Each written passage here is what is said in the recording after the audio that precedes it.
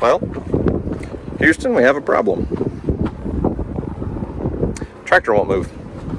Judging by the size of those claws on your feet, I got a feeling this really is gonna hurt me more than it is you. But, uh, sir, I'm gonna need to spray some of this on the back of your head. Here, take a look. Yep,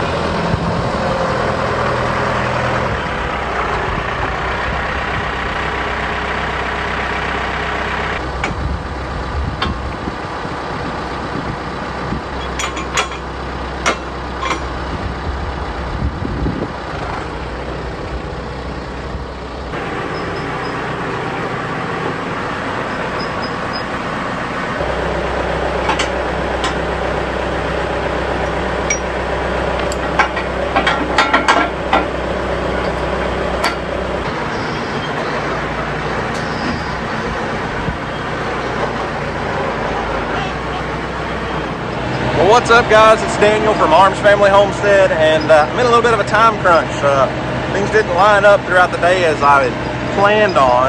So I've got the TYM 5835 fired up, and I hooked up the uh, Woods Precision Seeder because I've been telling you we're going to do some food plots and stuff, some cover crops, some different things.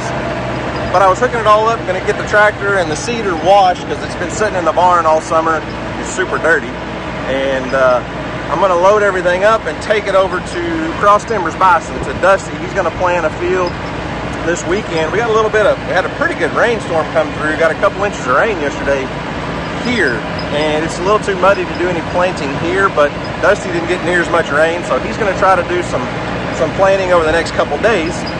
But I was hoping to get everything washed and cleaned and ready to go before my delivery showed up. Um, I knew I had a delivery coming in today on a semi, I ordered a bunch of seed from a company I've never bought from before, but um, Dr. Grant Woods has a, uh, a channel on, on uh, YouTube, um, Growing Deer TV, I think is what it's called. He uses this company called Green, Green Cover Crop or Green Cover Seed Company. Anyways, ordered a bunch of seed from them to put in for food plots and some cover crop, cover crop for pastures. Well, about the time I got the precision seeder hooked up, truck driver called and said, hey, uh, I'm about 10 minutes away, so put the pallet forks on and we're headed to meet the truck driver so we can get the pallet unloaded. Then hopefully come back, load the tractor, and take it to Dusty. We did get a pretty good rain, we had a lot of moisture on the ground, but not really enough to get the creek up and clean it out at all. And all the debris and moss kind of just gathered up. But uh, it's a little dirty, but definitely did not get cleaned out.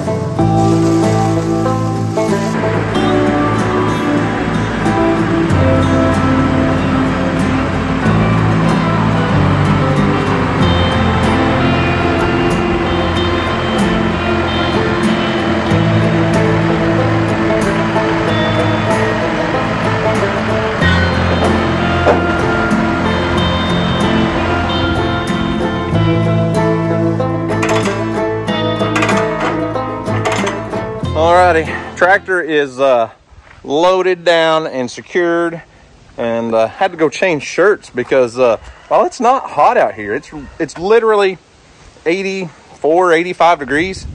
But uh, as my wife would say, the uh, humidities are really high, and uh, I had sweat. I had sweat through my first t-shirt, as you can tell by my lovely sweatband on my hat. It's sweaty out here, even though it's not really hot.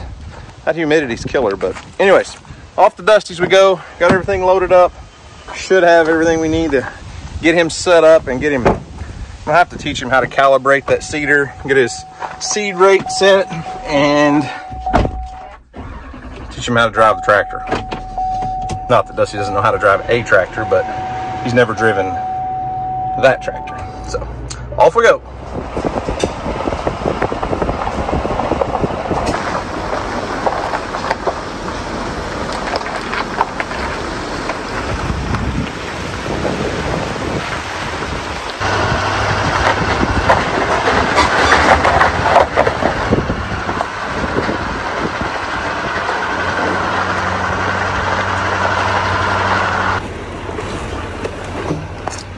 Well, made it up the hill.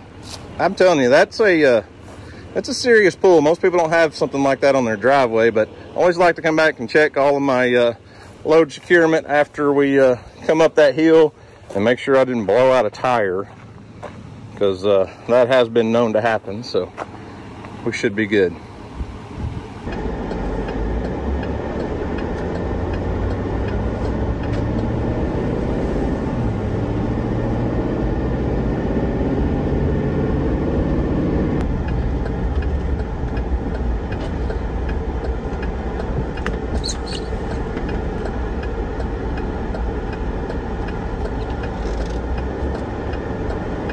There's a lot of mathing involved in it. Uh, It's not hard. It's just, you gotta do it.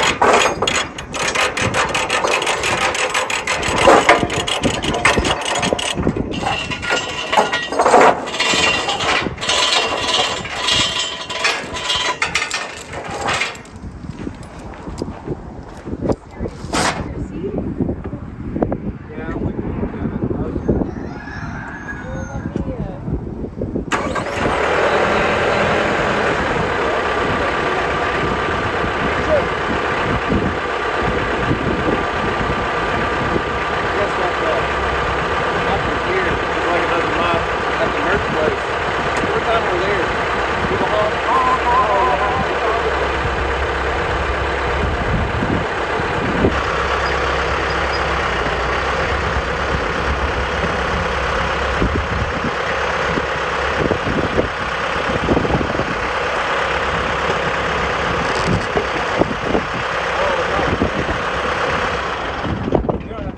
Well, Houston, we have a problem.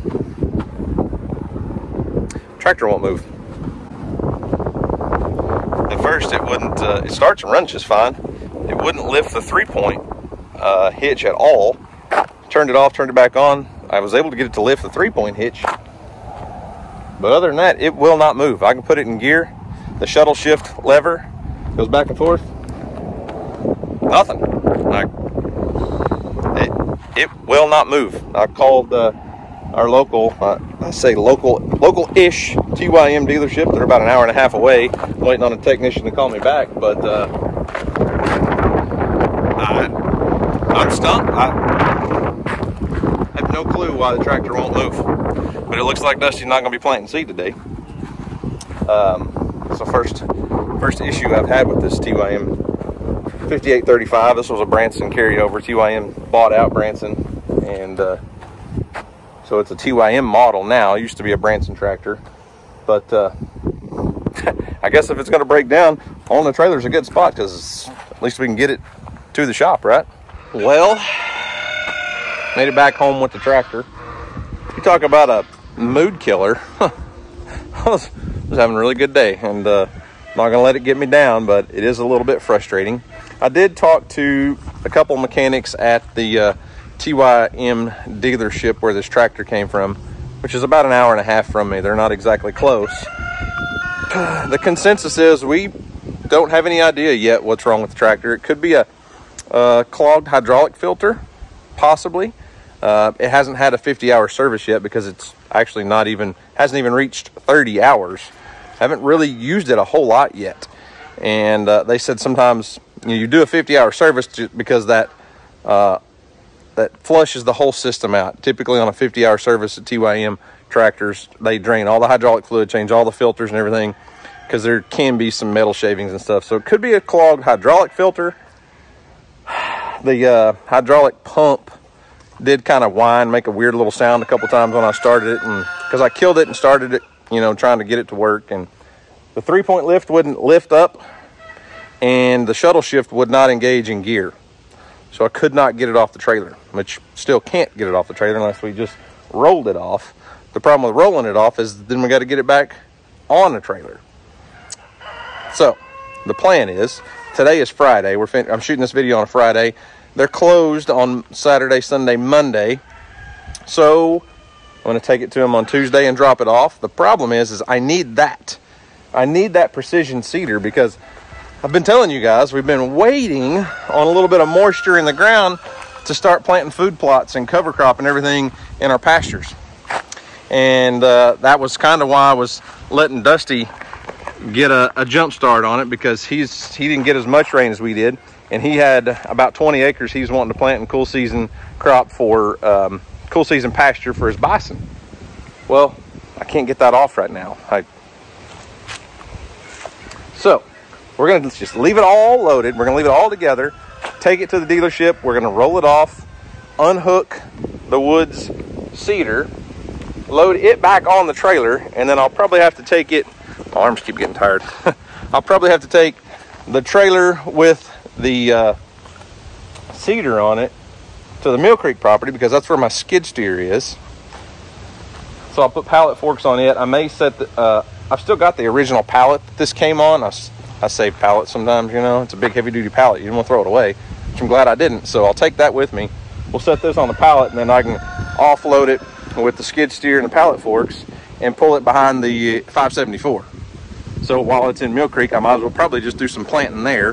But I had big plans for next week that's uh, all going to get pushed back, which is fine. It's not that big a deal. I'm not going to let it, it's not going to make that much of a difference being a week behind on planning.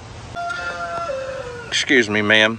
Um, are you any good at working on tractors? I need a I need a little bit of help. If you could figure this out.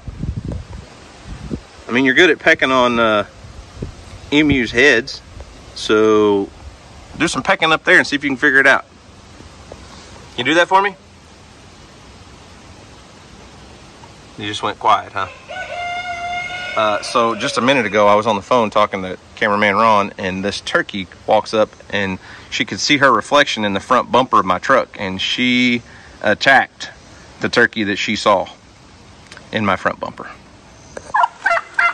So anyways, uh, I guess it goes without saying the food plot planting is getting pushed back uh, probably at least another week because uh, there's my seeder and the tractor won't back off the trailer.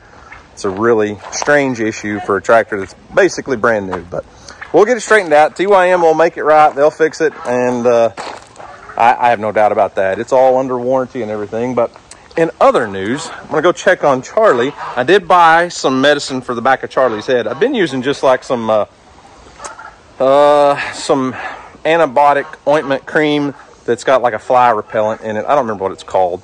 I just rub it on his head once a day. Keeps the flies off. But this is uh, Vetericyn Antimicrobial Poultry Care Healing and Skin Repair. See there? Wounds and pecking injuries. So, if Charlie, he's not going to let me do this. He's not going to enjoy it. We're just going to have to catch him and spray his head. Let's do it. Charlie, how's your head, buddy? Are you healing up? Oh yeah, it's much better. We're gonna go ahead and try to spray it. Um, I will say this: uh, my dad always said this is gonna hurt me than it more than it is you. He'd say this is gonna hurt me more than it is you. Um, judging by the size of those claws on your feet, I got a feeling this really is gonna hurt me more than it is you. But uh, Sir, I'm gonna need to spray some of this on the back of your head. Here, take a look. Yep. It's it's gonna make your head heal up a little better. Alright? Can we do this? Back up, Charlie. Back up. Can you walk backwards? Oh yeah. Alright, I'm gonna shoot you in the back of the head, buddy. Don't freak out on me. Yeah. Oh, easy, easy, easy, Charlie. Easy. Ouch. All right, all right, all right. I got you. Hey. All right. Go ahead. The back of your head looks like it's healing just fine, though. If you'll let me spray him from a distance. He's like, uh, get away from me. Hey, Copper. What's up, buddy?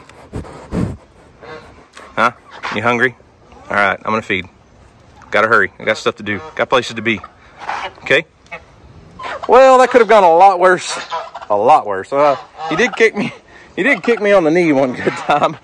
Um, emus can kick really hard, in case anyone was wondering. Oh, fellas!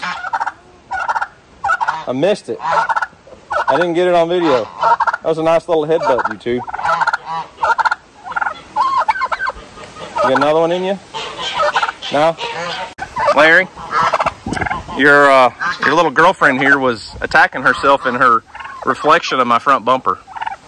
That's very uh, that's a very Larry kind of move. I feel like. Oh, look who came back. What? Here, just just turn your head. Got you. That should be good. It's not bleeding anymore. No recent uh, pecking by the hen. So it's not the first time that's happened. And we have been treating it with some other stuff, but I kind of thought, I saw this at the store the other day and thought, well, that might be perfect. I guess Charlie does too. You like it? Or are you just hungry? Pepper's special. She likes her feed soaked in water. Here you go, RJ. Don't let that goat scare you off your feed. You know that's where you like to eat. Where are you going?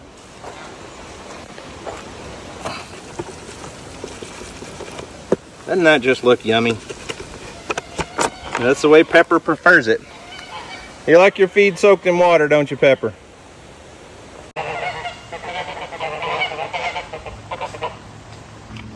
Is that good stuff? But the way you like it? I tried to mix it just right for you. Not too wet, not too dry.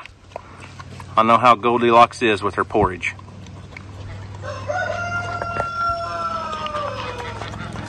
Enjoy your dinner, Pepper. Mm hmm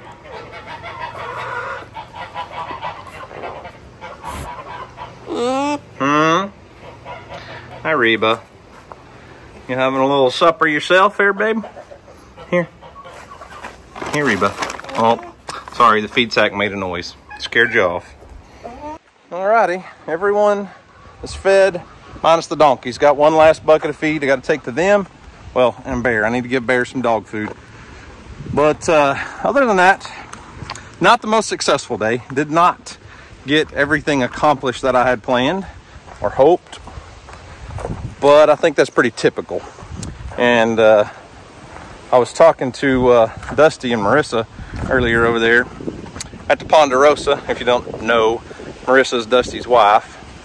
But Marissa said, uh, she said, you know, I, I when she worked full time, she wasn't on the farm with Dusty. She said, I never understood why Dusty never got as much done as I expected him to until I was at home with him working on the farm. And uh, nothing ever goes as planned. Nothing ever What? goes as planned. What? Did you come to feed the donkeys? I watered them for you. Let's you're all- I'm already. You're all dressed up and nowhere to go. I got somewhere to go. Well, I know, but not until I get in the house and shower and get cleaned up. That's right. I'm talking to my friends. Hi, friends. Hi, friends. okay, I gotta feed the donkeys.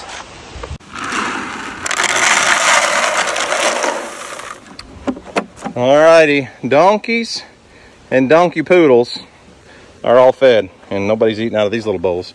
I do like to feed a little bit up on this rock because it's too tall for the donkeys. And they eat a lot faster. And Farrah's a bully. She likes to push everybody around. So that gives uh, Lucy and Tina a place to eat where the donkeys can't bother them. Because, well, Phoebe, you're too short. That's why. Watch, she'll try. She's like, I know he puts feet up there. Huh, Phoebe? You know. You know. Alrighty then. Uh, everybody's fed. Chores are done. Got to go get cleaned up and uh, head to a high school football game. My wife's got to do pictures. It's senior night. They're doing senior night really early, but uh, she's, you know, local photographer. She got to be on the field and do pictures for all the seniors with their parents and stuff. Not that we don't have anybody participating, but Emily did get homecoming princess. They're doing homecoming a little bit different in our town this year. She's a sophomore. Usually we have four candidates, you know, freshman, sophomore, junior, senior. This year, the queen they nominated three seniors and then have a princess for freshman, sophomore, junior. So she got sophomore homecoming princess. And uh, we found a dress. I think she found a dress today, actually. Got a really cool car for the parade. That's going to be a lot of fun. Small town football stuff. But today, not the most successful. I do have one little tidbit of advice that I learned from a wise old man. Maybe just a tad bit inappropriate. But he said, don't sweat the petty stuff and don't pet the sweaty stuff and you'll be all right. So guys, that's all I've got for today. Thanks for watching. I hope you enjoyed it. You guys have a great day. Come here, Earl. Say, and as always, we'll see you on the next video. Remember, remember, Earl, don't sweat the petty stuff and don't pet the sweaty stuff. Huh, Trashy?